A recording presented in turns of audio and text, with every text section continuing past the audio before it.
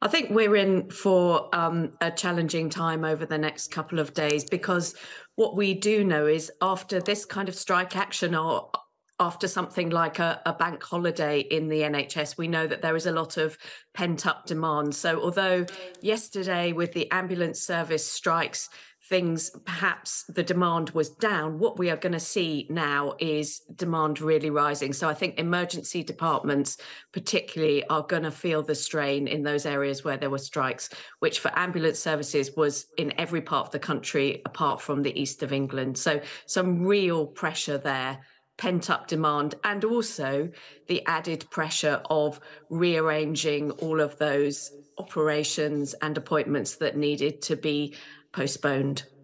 And what's that going to mean for patient safety?